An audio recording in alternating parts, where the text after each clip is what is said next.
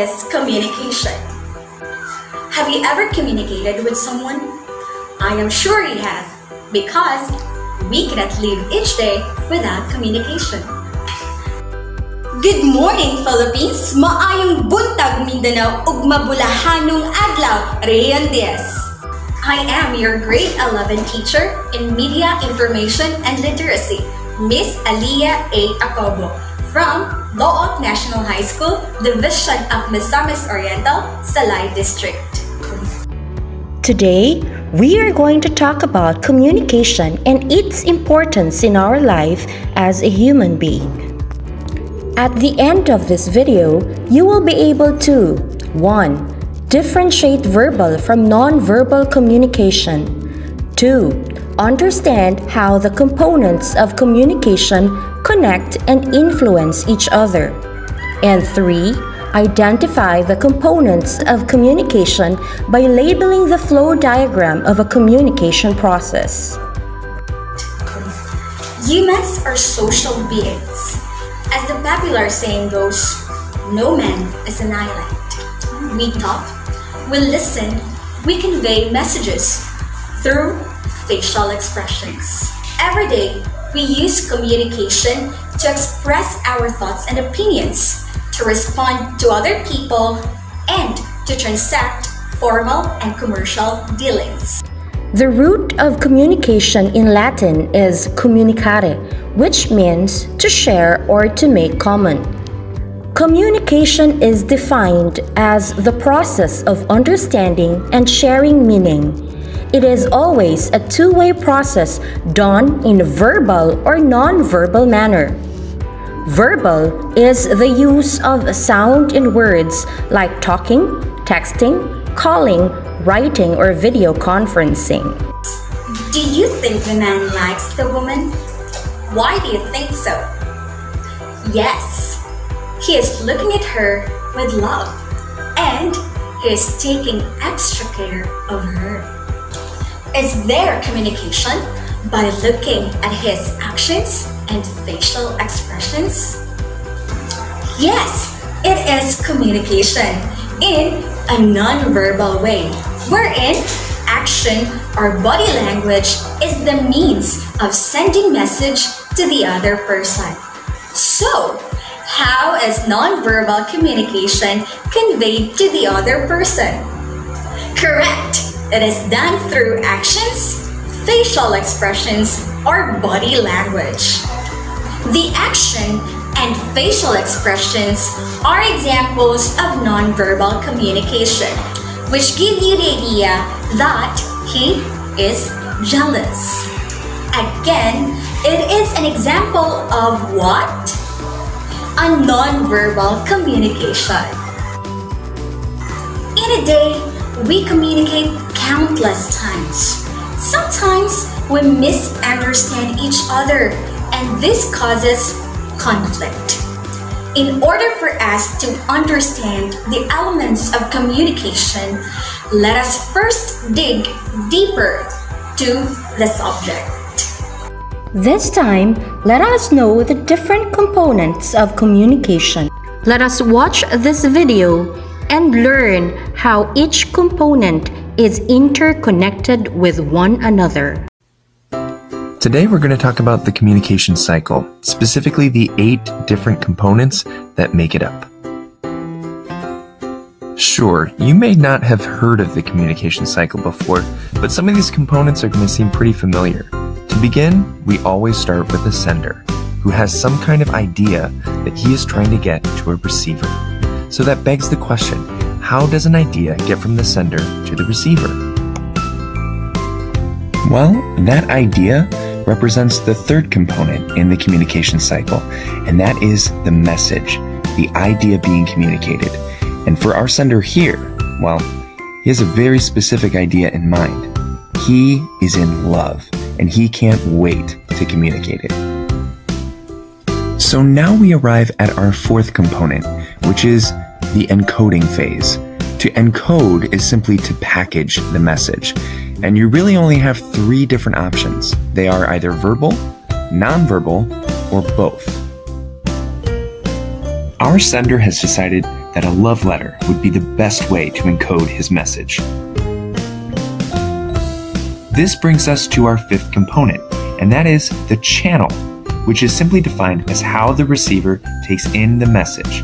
Human beings have five channels. Think, what else do you have five of?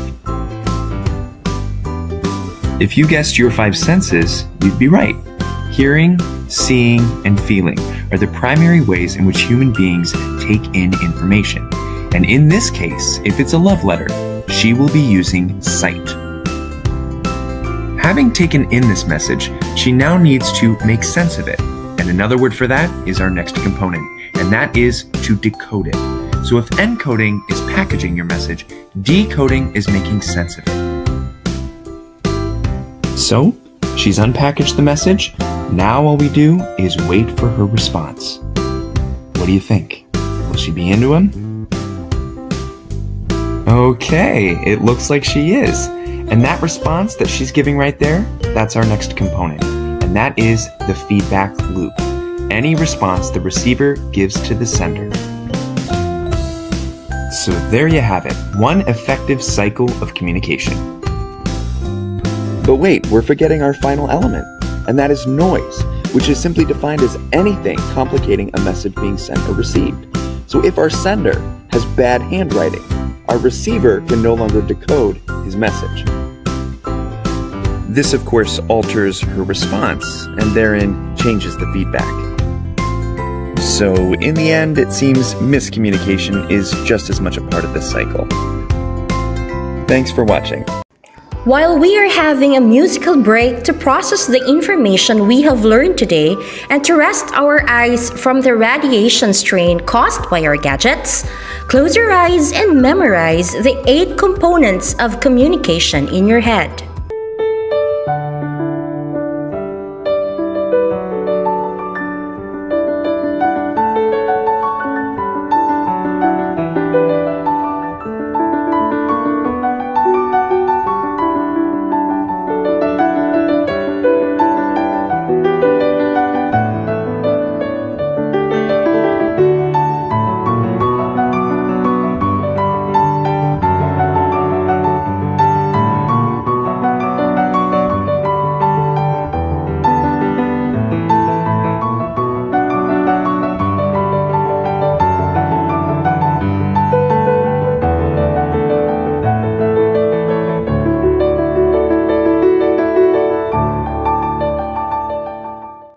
Now we are going to go through the process again for mastery.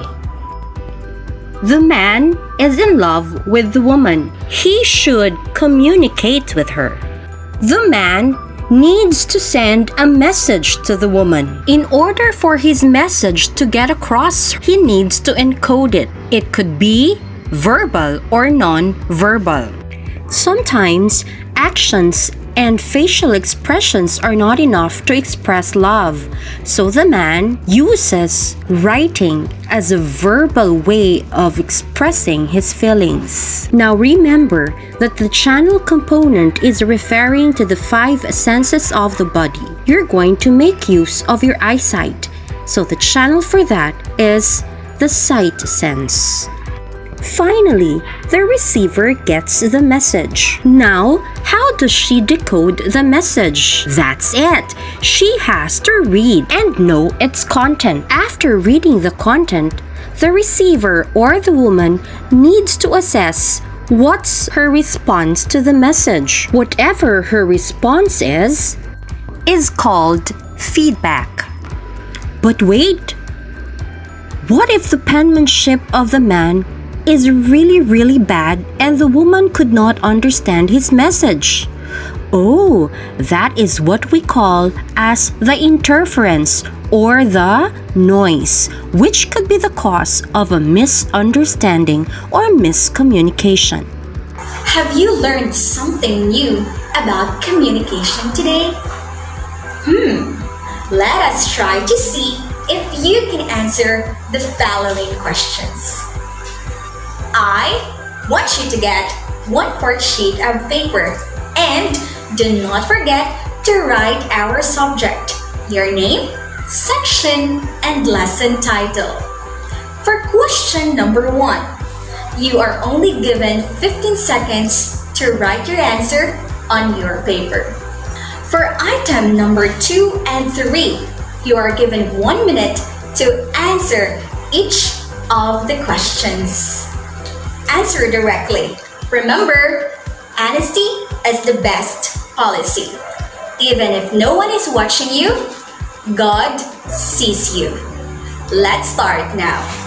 Question number one What is the root of the word communication in Latin, which means to share or to make common?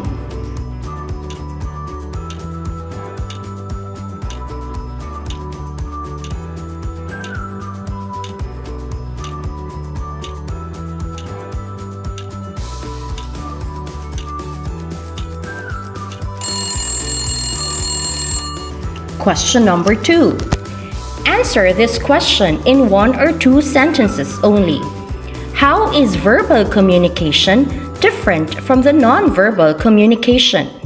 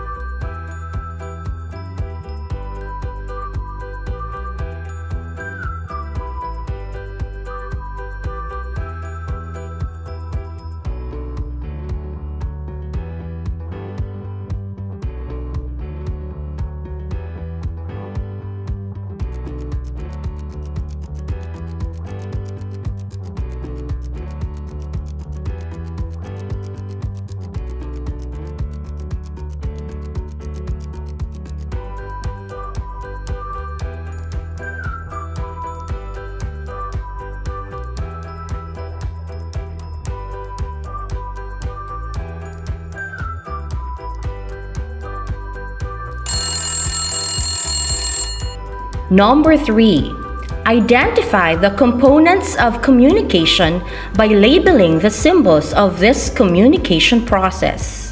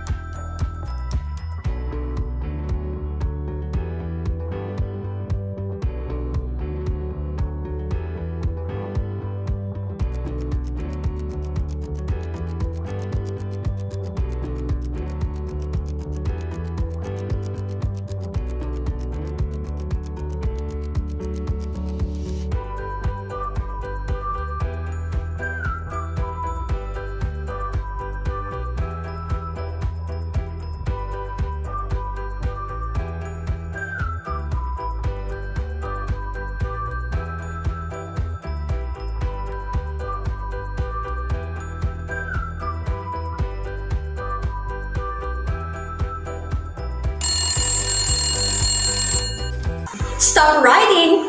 So easy, right? Do you think you were able to answer the questions correctly? I bet you did. Now, how are you going to pass your paper? If you have internet, I want you to take a picture of your paper and send it to my FB Messenger account flushed on the screen. To those who cannot access the internet, Put the paper on your MIL envelope together with your answered modules and wait to deliver it on the designated time and place for module retrieval. Next time, we will discuss the communication process of communication through models.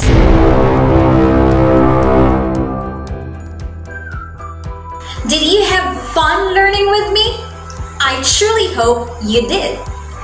This is your Media Information and Literacy teacher, Miss Alia Acobo saying, Knowledge is power. Thank you for watching. Until next time.